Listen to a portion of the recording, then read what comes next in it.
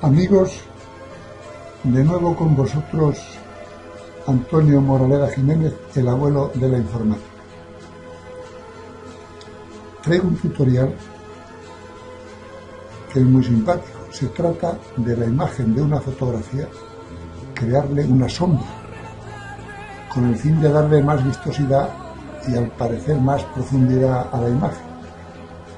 Este tutorial yo lo he visto en YouTube lo que ocurre es que los que lo hacen, lo hacen creando previamente un fondo y llevándose la imagen de la fotografía a ese fondo. Bien, pues yo no.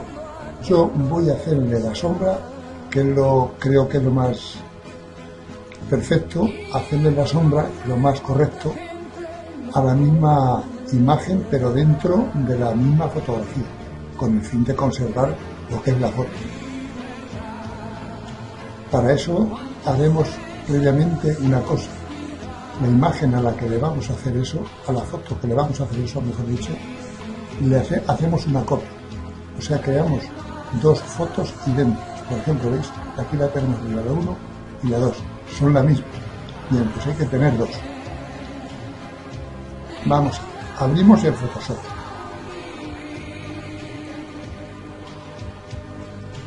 Pues vamos archivo abrir y buscamos la imagen 1. Te os digo que son las dos la. Una vez aquí, como es pequeña, yo en mi caso le voy a pinchar en la lupa y cogiendo con el derecho le digo encajar en pantalla. Bien, ahora, archivo, abrir y cogemos la imagen 2. Decimos. Pinchamos con el derecho y le decimos también encajar en pantalla. Bien, ahora nos vamos arriba a la izquierda. Buscamos aquí la opción selección rápida. Ya veis que tiene el signo más y el signo menos. Pues con el signo menos es por si nos pasamos. Entonces le quitamos. Conectamos la señalización. Vamos haciendo algún cuidado si no nos salimos.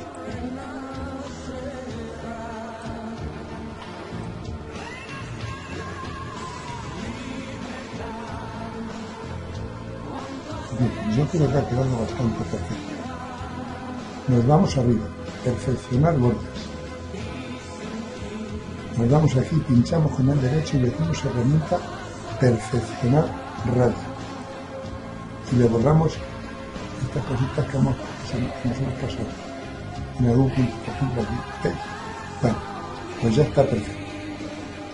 Ahora nos vamos aquí a la derecha abajo, pinchamos y le decimos nueva capa con máscara de capa. Ok. Bien, pues ya se ha quedado la imagen para transportar. Nos vamos aquí arriba, a la izquierda. Y marcamos y lo arrastramos a la fotografía que tenemos debajo. La soltamos ¿Veis? Ahora se trata de colocarla justo encima. Ahí Una vez hecho esto, nos vamos aquí a la derecha, a las capas. Hacemos doble clic, mejor dicho, pinchamos con el izquierdo, vamos, perdón, pinchamos con el izquierdo y le decimos duplicar capa. Ok. Nos vamos a la capa que hemos duplicado, la de abajo. Damos doble clic sobre ella, aquí, con esa marca. Y le decimos superposición de colores. Aquí está rojo, pinchamos y lo ponemos en negro. Le decimos OK. De nuevo, OK. Bien, una vez hecho esto, control C. Como veis, ya se ha remarcado todo. Pinchamos con el derecho y le decimos distorsionar. Cogemos el cuadrito de arriba del centro y arrastramos, ¿veis? Como si fuéramos la sombra. La seguimos, la vamos colocando aquí. Hacemos un poco más alta.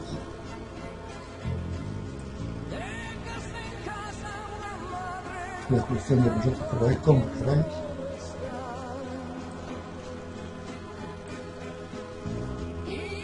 Pinchamos de nuevo con el derecho y le decimos deformar.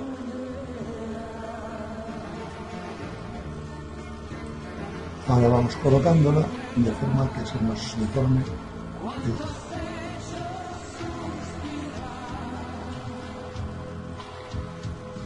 Como lo veamos nosotros.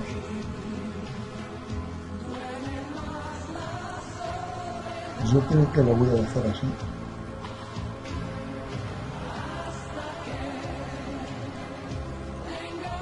Subimos un poco más. Nos vamos a la izquierda arriba y le decimos aplicar. Bien, ahora se trata de colocarla más o menos así. Nos vamos a la derecha a opacidad. Cogemos le quitamos opacidad, le vamos dejando, como veis, una sombra totalmente perfecta proyectada sobre el suelo y sobre la pared. Bien, ¿qué os ha parecido amigos? Aquí os dejo. Sabéis si ha sido fácil crearle una sombra y una profundidad a la fotografía. Creo que ha quedado bastante mejor que esta. Un saludo y hasta la próxima. Y ya sabéis, en la barra de YouTube ponéis Moraleda 70 y ahí están todos mis tutoriales. Un saludo y hasta el próximo video.